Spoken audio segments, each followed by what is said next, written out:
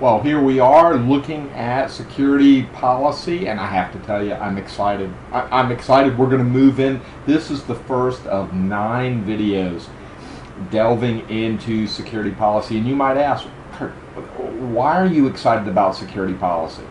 Well, I'm excited because somebody has to be excited about security policy.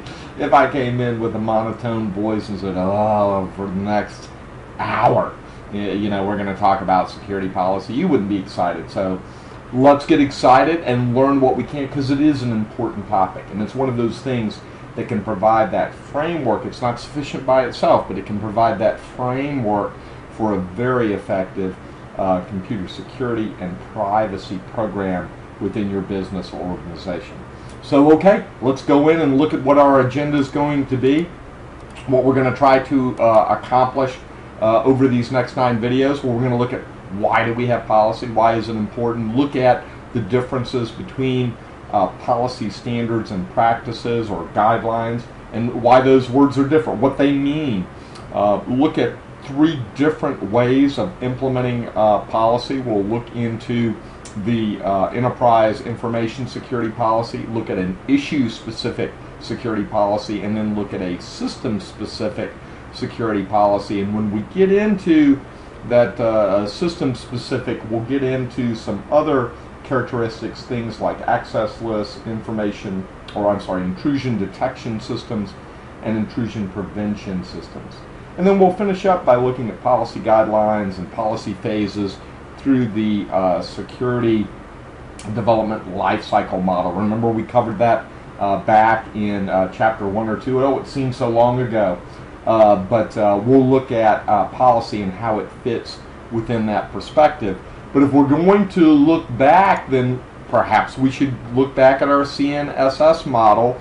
Remember, policy is going to be one of those key components in terms of addressing uh, how we prevent the or, or, protect the organization against attacks against our confidentiality, integrity, or availability during the phases of, of uh, data in storage, data in transit, or data being processed and we list some of those attacks down there. But you know, these should be old hat at this point. We've already talked about defining each of these attacks. We've uh, uh, talked about what part of the model they attack, and we've uh, talked about whether you use policy, education, or training to respond to these uh, types of attacks. Okay, enough of a, uh, a reminder, a, a, visit back down history lane. Let's look at the lesson objectives now for uh, this particular chapter. So here we go. Uh, what we want to be able to do is talk about policy and its central role in a information security program. Talk about three different types of policy, and then talk about how do you develop, implement, and maintain uh, these uh, policies over time. And as you do that, you know one of those ways of uh, uh, implementing this is, is, is starting with well, what is information security policy. So, and look, there's a typo there. So it's information security policy explains not he will, how about the will of the organization in and their management and controlling the behavior of employees. And here you get three kind of fundamental rules associated with policy. One, you never want to conflict with law because guess what? Every time policy fights with law, law wins. Every single time. So uh, law is going to trump policy. You want to make sure that there's not a conflict there. You want to make sure, kind of corollary to that, that policy must stand up in court if challenged.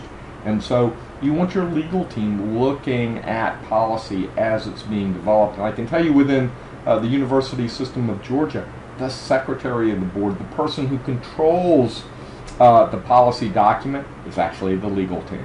Uh, very important. And then finally, uh, writing policy and then walking away from it is not helpful.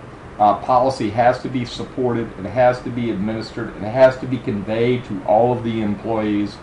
And so it's just a component in your overall approach. But you don't want to write it and walk away and say, well, obviously everyone will read this and follow this. It's, that's not true. It doesn't work that way.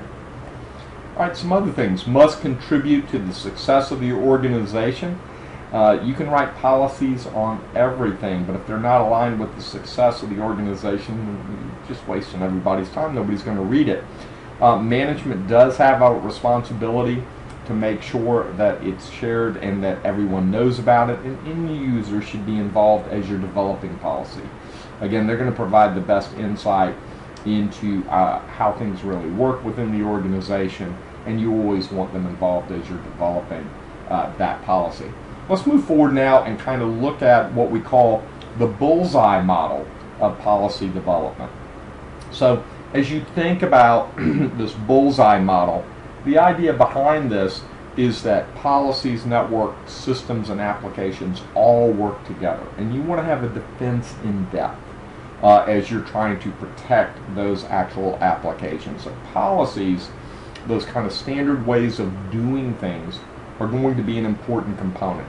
And then at the, at the network level, that's where external threats, at least, are going to first meet your systems. And again, you want some policies around that, you want some educational activities and training around that, and you want some technology to help protect your networks.